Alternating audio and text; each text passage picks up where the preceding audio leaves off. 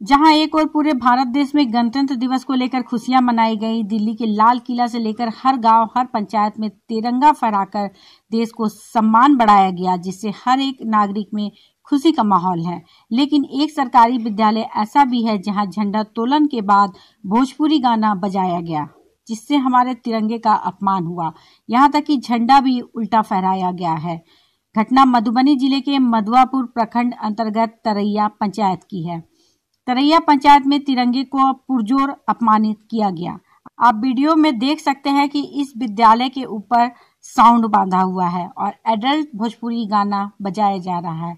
यहाँ तक कि तिरंगे को भी उल्टा फहराया गया है। जब हमारी कैमरे की नज़र पड़ी तो यह खुलासा हुआ। फिर जाकर हमने प्रखंड शिक्षा पदाधिकारी से शिकायत की तो उन्होंने तिरंगे को सीधा करवाया और भोजपुरी गाने को बंद करवाया।